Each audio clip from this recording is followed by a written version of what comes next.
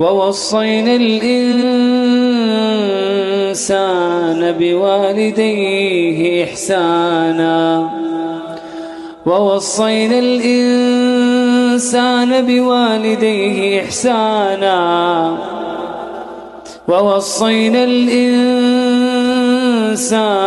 بوالديه إحسانا.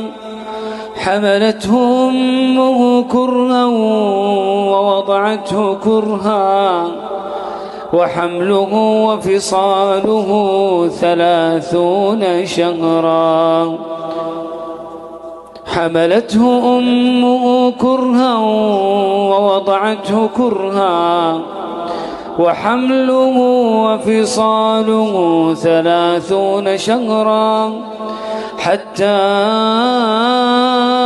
إذا بلغ أشده وبلغ أربعين.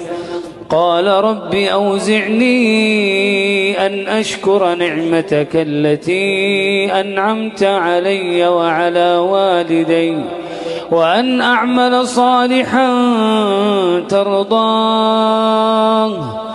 وأصلح لي في ذريتي. إني تبت إليك وإني من المسلمين. أولئك